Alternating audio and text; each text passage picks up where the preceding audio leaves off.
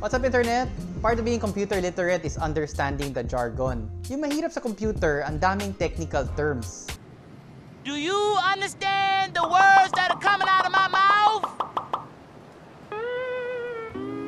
Ano ba tong gigabyte and kung malaki siyang storage capacity, ba't nagbebenta rin siya ng motherboard at ng cooler at ng mga graphics cards? To better understand the PC geek in your life, here are some tech cultural terms and I hope makatulong sila.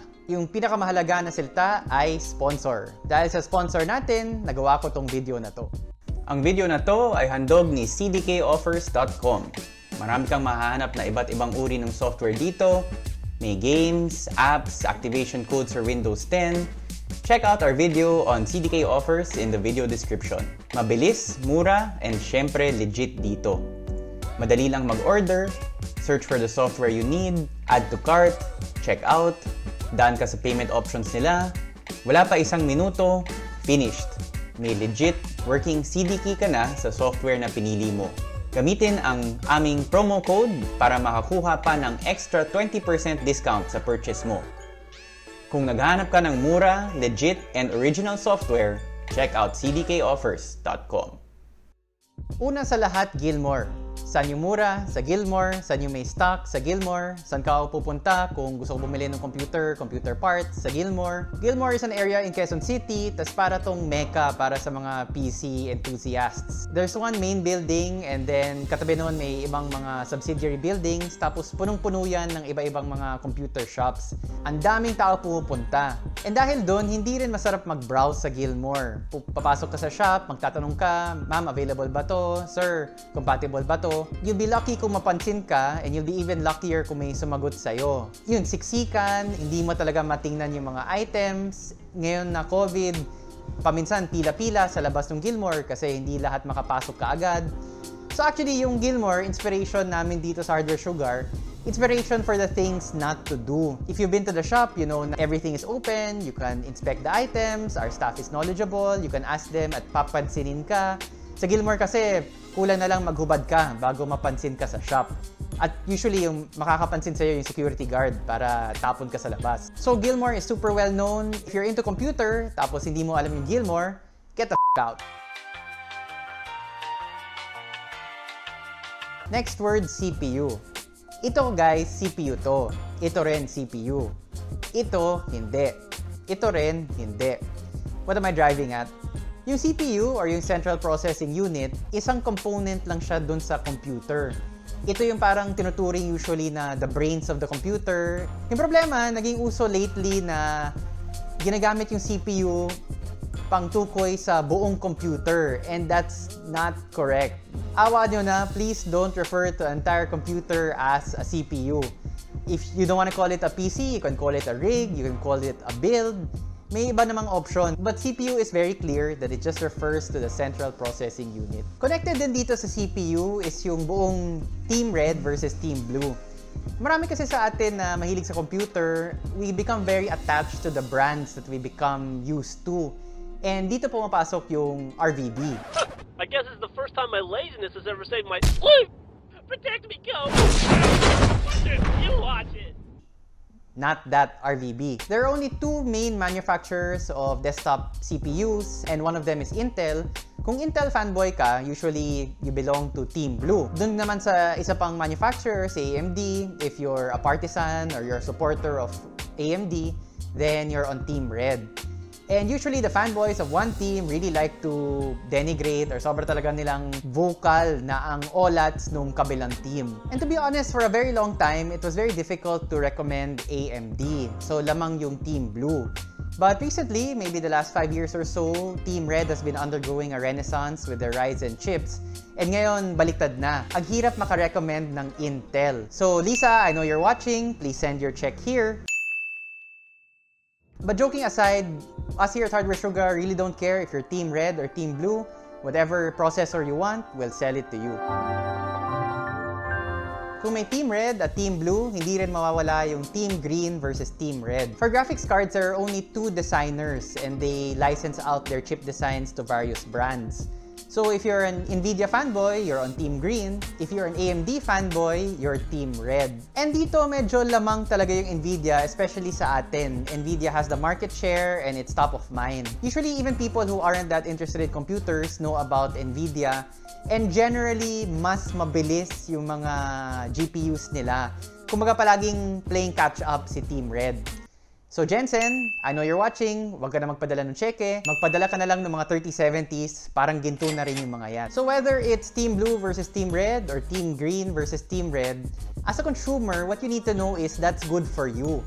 Because of the fierce rivalry between the different brands, each one is trying to one-up the other. So maganda yon to drive prices down, to drive competition na gusto ni AMD, mas mabilis yung GPU nila, or gusto ni Intel na mas maraming cores yung CPU nila kaysa sa AMD. And I'm not really a fan of any particular brand, but I am a fan of competition. The more teams versus everybody else, mag-rumble kayo dyan, the better. It's good for the consumer. As you may have noticed from the whole team thing, people can become real a-holes. Sobrang na-attach sila dun sa mga brand na gusto nila. And of course, that extends to owning a PC in general. Kaya nabuhay yung term PCMR or PC Master Race. Yung PCMR at its most lighthearted is just sort of a fun, you know, kind of low-key way of poking fun at yung mga kasama nating console gamers. Kasi of course, tingin ng mga PC fanboys na PC is king. Yung console, di mo naman kailangan ng technical knowledge para i-operate. It can only do one thing and you can't upgrade it. So obviously, PC is king. Kaya if you have a PC, welcome to the PC Master Race. Now, I admit, I usually find the whole PCMR thing funny and who doesn't like trolling the occasional console guy. But as with anything exclusive, people take things too far. Easy lang guys, don't let it go to your head. A device, whether it's a phone, a computer, a console, is just a thing made out of wires and silicon don't tie your identity to it. Don't be offended when somebody insults your device. It's a thing, not you. PC lovers love to get technical and I can feel the comments starting already. Nasabi mo tech terms, paano to naging tech terms? So let's get a bit more techy and let's start out with some acronyms that are good to know. These are HDMI, DP, DVI, and VGA. HDMI or High Definition Multimedia Interface, DP for DisplayPort, DVI for Digital Visual Interface, and VGA for Visual Graphics Array. All of these things are ways for your monitor to connect your graphics card. You should have the same port on your monitor as on your graphics card. So kung HDMI yung monitor mo, dapat may HDMI port din yung graphics card. And I talk more about the importance of these ports in this video. Another hallowed acronym is FPS, and this can stand for First Person Shooter, which is a kind of game where you actually see from the viewpoint of the character, so you rarely see your body or your arms. Usually these are shooters, so you can see the gun, and you're busy running, jumping, crouching, sneaking around in this first person mode. FPS also stands for frames per second and this is the most common way of measuring how fast your computer is in practical terms. The faster your PC is, the more frames per second it can generate. For gaming, you usually want at the very minimum around 40 FPS. It's very difficult to have a satisfying experience below 40. Most mid-range rigs will give you 70 to 80 FPS on most games. And of course, you have the super bonkers computers na sobrang mahal, sobrang high-end na kahit anong game, kaya niya 144Hz, 160Hz, or even higher. But like any number related to PC performance, it's all relative. What parts do you have? Are they optimized? Do you have the latest driver? What game are you playing? At what resolution? So a lot of factors determine how many FPS you can get from your computer. But since PCMR likes their numbers, usually tinatapon lang yung FPS as a common way of saying mas mabilis computer ko kaysa sa'yo. Yung PC mo, 80 FPS lang sa Warzone, akin 110, hindi pa yon overclock. Oo, sige, 110 FPS ka sa Warzone, pero baka naman naka low textures ka at 1080p. To translate, what I'm saying is that low texture meaning that you have the graphics detail dialed all the way down so that the shooter looks like a game from the 90s. Or Minecraft.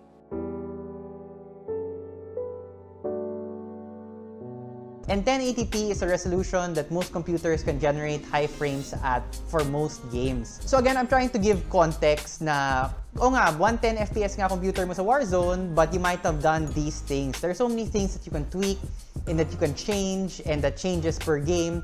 So FPS is not a reliable standard just to say na, ah, mas computer ko kasi kaya niya mag 4K on Cyberpunk. As with anything computer related, it depends on the context. Your hardware, your software, how well optimized everything is. Since we touched on 1080p, let's talk about it. Common resolutions are 1080p, 2K or 1440p, and 4K or Ultra HD.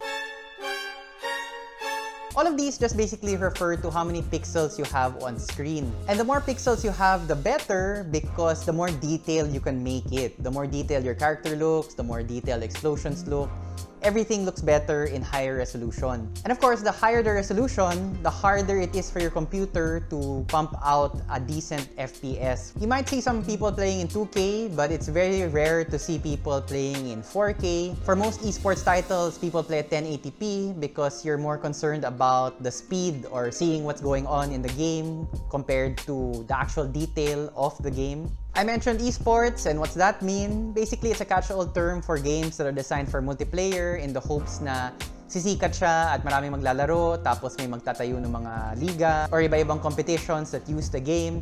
Valorant, uh, a recent example for FPS, and then all of the Dota equivalents. Dota didn't start out actually as an esports title, but you know, it's progressed to be the most visible type of esport. Overwatch also would be considered an esports title.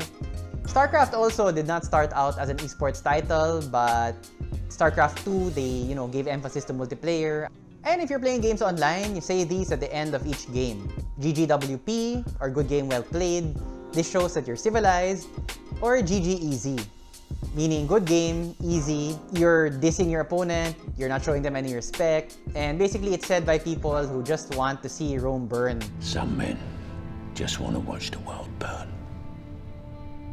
Yung mga troll na naghanap lang ng konting away. Paminsan, may nagsasabi pa nga GG easy kahit talo sila. And you know, those are the guys who just really are trying to piss off the other people. GG Easy usually gets a rise out of someone and may riser then for computers. What's a riser? This is the cable that connect to your graphics card and to your PCIe slot. Why would you need one? Kasi usually, sinasaksak lang directly yung graphics card into the PCIe slot. The most common reason for using a riser is to vertically mount your GPU. These are the designs where the GPU fans are facing the side panel of the case. So it's not lying perpendicular to the motherboard, but it's lying parallel to the motherboard. And because of its position to the case, you can't possibly connect it physically to the motherboard. That's why you need a riser cable to attach the GPU to the motherboard. Another common scenario for risers is everyone's favorite crypto mining. To create cryptocurrency, a lot of people use GPUs. Pero para ma-maximize yung efficiency, dapat lahat ng PCIe slots ng motherboard mo may nakasaksak doon na GPU. Pero malaki yung mga GPU, imposible na masiksik mo lahat ng mga GPU na kaya ng motherboard. That's why you need risers so that you extend them up into the air. Kumbaga, you hang the graphics card from something else. And because there's more space, since the graphics cards are now not physically attached to the PCIe slots, you can now use all of the PCIe slots of the motherboard. Huling salita na lang, and palagi mo itong naririnig, especially sa mga PC forum sa atin, budget meal. What's a budget meal? Basically, it's a computer on a budget.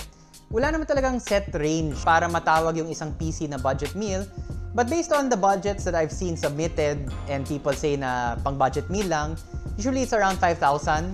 And to be honest, I don't know what you can get for 5,000 to around 15,000. Yan yung ballpark for a budget meal PC. Yung mahalaga sa budget meal is to set your expectations. Hindi ka naman pupunta sa Jollibee, tapos mag-order ka ng burger steak, tapos yung inaasahan mo na yung beef na ginamit, Wagyu beef.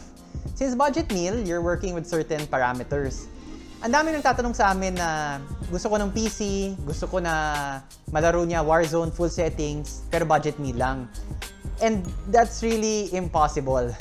Uh, if anyone tells you different, yun nga, parang linoloko ka lang niya. Because there's nothing wrong with a budget meal. Pero yun nga, set expectations. You can only get certain parts yung scope ng hardware na makukuha mo at yung performance niya, syempre, limited dun sa budget natin. So yun na yun. All the tech words you need to know to understand your PC friends. And if you disagree, I'm sure you'll say so in the comments. Pero for real, if somebody is talking PC jargon and you can't understand them, just use one of the words that I mentioned here. For example, may nagsabi sa'yo, Sir, gusto mo ba na i-overclock natin yung RAM mo from 3200 MHz to 3600 MHz? Gagawin ko lang naman sa SMP settings. Total, medyo optimal pa naman to para sa Infinity Fabric ni Ryzen. Kung wala ka naintindihan doon, sabihin mo lang, GG, easy. Sigurado, maintindihan ka nung kausap mo. Thanks for watching. And thanks to our top fans, Christian Espinosa, John Ruben Ocha, ITX Addict, Richard Ongkinko, Asher Gape Anima Mundi, and Ian Meru. Your support is super appreciated and it goes a long way to improving the quality of the channel.